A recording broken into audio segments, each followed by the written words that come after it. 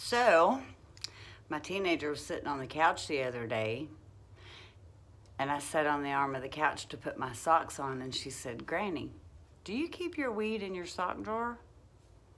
I said, not anymore.